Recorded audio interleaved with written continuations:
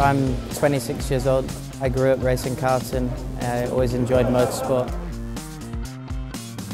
Pretty much since then, you know, I've dreamed of being a racing driver and already did quite a lot in the, the junior ranks. I've been test driving Formula One cars for quite a few years now. So yeah, I'm pretty experienced for my age. I'm a rookie coming into the season.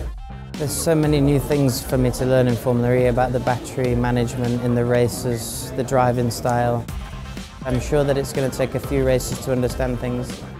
Hopefully throughout the season I can keep on building and improving, gain some confidence and momentum and I'm just really excited to get to work and you know learn what I can from my experienced teammate and then uh, show everybody what I can do.